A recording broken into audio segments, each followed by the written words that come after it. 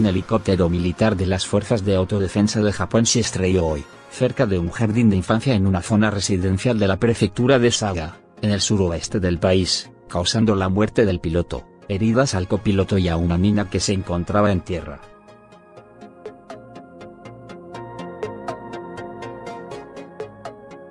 El aparato de ataque, un Boeing A-64, perteneciente a una base en la prefectura de Kumamoto, se estrelló sobre una casa de dos pisos en la ciudad de Kanzaki, en Saga, durante un vuelo de prueba, informó el Ministerio de Defensa, citado por la agencia de noticias Yodo.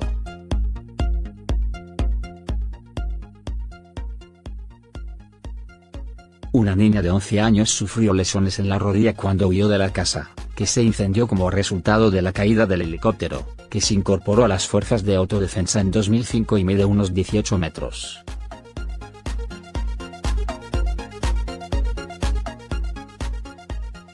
Imágenes aéreas captadas por la cadena de televisión NHK mostraban a un equipo de bomberos intentando sofocar el fuego en una vivienda envuelta en humo negro.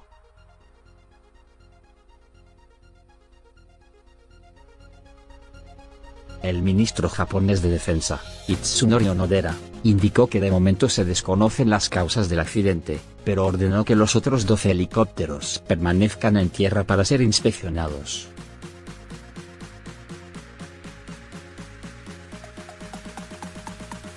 La isla de Okinawa alberga más del 70% de las instalaciones militares de Estados Unidos en Japón y más de la mitad de los cerca de 48.000 soldados estadounidenses en este país.